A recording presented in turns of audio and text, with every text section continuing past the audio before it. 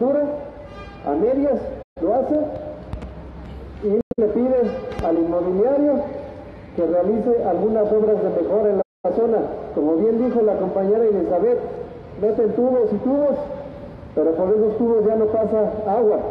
Pero eso es lo que les pide a los inmobiliarios para que puedan tener la conexión de agua potable y de drenaje. Estamos acelerando, intensificando los procesos de sobreextracción de líquidos en la Ciudad de México. Desafortunadamente, en octubre del año pasado, la jefa de gobierno, Claudia Sheinbaum, envió una iniciativa al Congreso de la Ciudad de México en la cual decía que para reactivar la economía, que para favorecer al sector que fue afectado en la pandemia, al sector inmobiliario, como si ellos hubieran sido los únicos afectados, ¿verdad? Como si fueran los únicos que de que recibir estos apoyos de recuperación económica al sector de la construcción, al sector restaurantero, al sector empresarial, les dice, pues vamos a darle más facilidades para que ya no tengan tantos trámites y puedan hacer estas nuevas obras de construcción, estos nuevos proyectos comerciales, estos nuevos megaproyectos.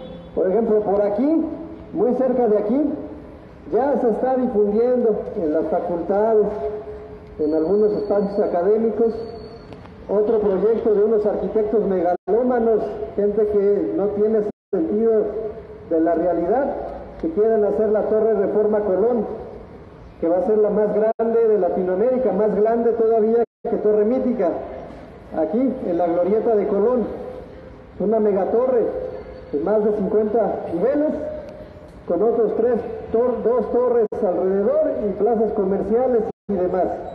Esa megatorre ya tiene concesionados dos pozos de agua desde el año 2019. Es decir, estas administraciones le dieron sus dos pozos de agua, millones de litros ya tiene autorizados para ese megaproyecto. Entonces, por si esas facilidades que ya existan no fueran suficientes, en octubre se manda una iniciativa para quitar o restringir o reducir el trámite de dictaminación de factibilidad y ahora crear una nueva figura llamados polígonos de factibilidad, que van a ser grandes zonas en las cuales ahí siempre se va a dar en sentido positivo los permisos de agua potable al sector inmobiliario. En esos lugares el SACMES ya no va a tener que hacer los estudios de disponibilidad o de infraestructura por cada proyecto, sino, por ejemplo, si aquí, en esta colonia, con las colonias cercanas, Colonia Juárez, en la Roma, SACMES dice polígono de factibilidad, ahí ya no, el inmobiliario ya no va a tener que solicitar el trámite de dictaminación, sino que va a pasar en automático solamente solicitándolo por internet. El inmobiliario muy contento desde su casa va a hacer el trámite y ya va a poder tener la factibilidad de servicios hidráulicos. Imagínense lo que eso significaría para la capacidad de extracción de agua de un acuífero ya sobreexplotado en la Ciudad de México. Porque en esos polígonos además se va a revisar una sola vez la disponibilidad de agua en la infraestructura y ya que estén aprobados, vámonos, van todos los proyectos que se quieran. Formalmente, el SACMEX va a considerar siempre la misma disponibilidad. Es decir, por ejemplo, si el día de hoy SACMEX dice, esta colonia es un polígono de factibilidad, y por ejemplo dice, son, tiene 100 mil litros de agua de disponibilidad en ese momento. Entonces llegan los inmobiliarios, piden un megaproyecto, esa disponibilidad obviamente va a bajar, ya no van a ser los 100 mil de inicio, ahora van a ser 80 mil. Y luego va a llegar otro inmobiliario, 70 mil, 60 mil, así va bajando la disponibilidad de agua real. Pero para el SACMEX va a ser siempre como si hubiera agua disponible, porque ya va a estar otorgado ese dictamen de factibilidad. Siempre.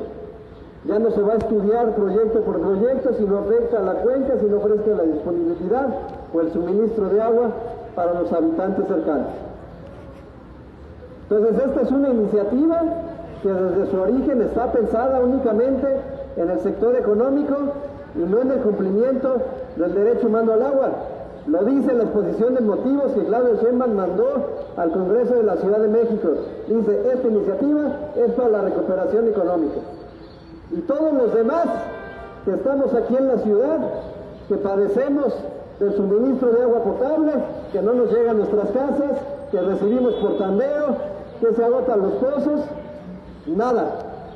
No ha habido una reforma legislativa encaminada a favorecer o garantizar el suministro de agua a los habitantes. Y la única reforma que sale de la jefatura de gobierno es una reforma para el sector inmobiliario, para darle agua al sector inmobiliario de inmediato, sin mayor trámite. Dicen desde arriba que es tiempo de definiciones, así dicen, ¿no? En las mañanas. Es tiempo de definiciones y que se está con el pueblo o con la oligarquía. Aquí la pregunta que le hacemos a Claudia Sheinbaum, ¿está con el pueblo o está con la oligarquía inmobiliaria? ¿Ustedes qué creen? ¿Claudia Sheinbaum está con el pueblo? ¡No! ¿Está con la oligarquía inmobiliaria, Claudia Sheinbaum? Sí, es Es una aliada. aliada del sector inmobiliario. Así es. Es una loca que sabe que no hay agua. La secre- el secretario de Desarrollo Urbano y Vivienda, Carlos Ulló, en las últimas semanas comparte en su cuenta de Twitter muy contento. Me reuní esta semana con este sector inmobiliario, con Grupo Danos. Esta semana me reuní con este otro grupo empresarial, porque estamos haciendo reformas para facilitar los trámites al sector. Ya intentó pasar una reforma de la publicitación vecinal, que afortunadamente la logramos detener. Ya pasó, ya esa quiso pasar y no pasó, la detuvimos. Pero pasó otra reforma de modificaciones a la ley ambiental que eliminaron requisitos para los nuevos eh, proyectos, para nuevos proyectos comerciales, para que de inmediato se les otorgara la autorización de impacto ambiental, a ciertos proyectos. Es otra de esas normas para reducir y facilitar trámites.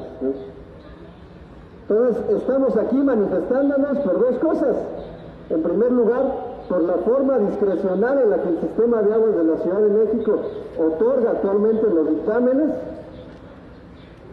que se ha favorecido al sector inmobiliario. Aquí nos podrán decir bien, el Joco, el Mítica,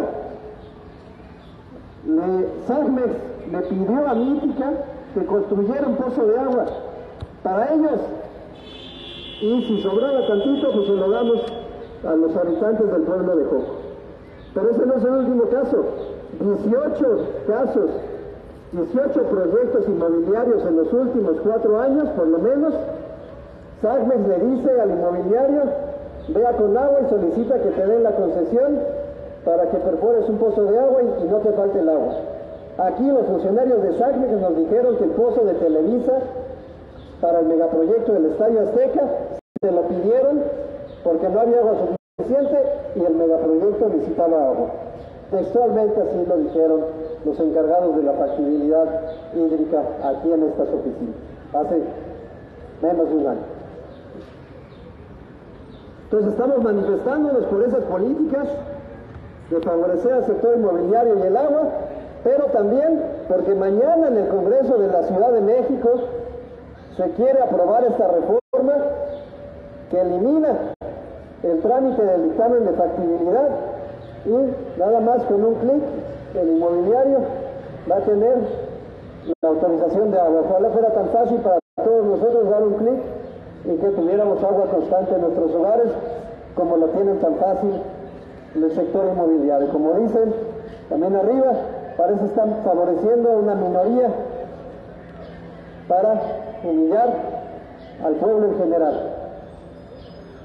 Entonces, la propuesta que nosotros hacemos es que exigimos que el Congreso de la Ciudad de México retire de la discusión esto que se quiere plantear mañana, de eliminar estos requisitos de factibilidad, que no se apruebe, que no se discuta, que lo retiren que retiren la iniciativa del orden del día de mañana del Congreso de la Ciudad de México, si no, pues nos vamos a ver en el Congreso de la Ciudad de México y allí estaremos cerrando, allí estaremos haciendo la manifestación y las protestas en contra de esta ley.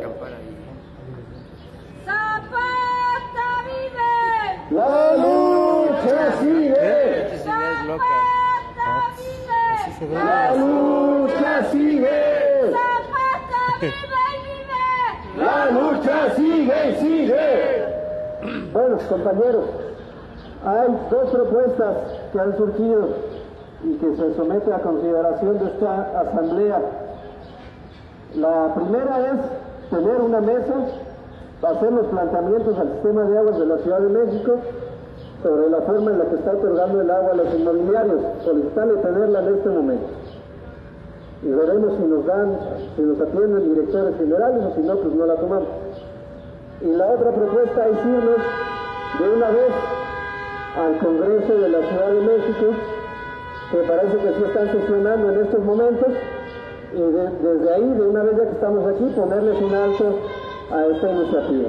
Podríamos ir hoy, aunque también podríamos convocar a ir mañana desde temprano a protestar en el Congreso de la Ciudad de México. Entonces están esas dos consideraciones sobre la mesa. No sé qué opinan, nos quedamos o nos vamos al Congreso.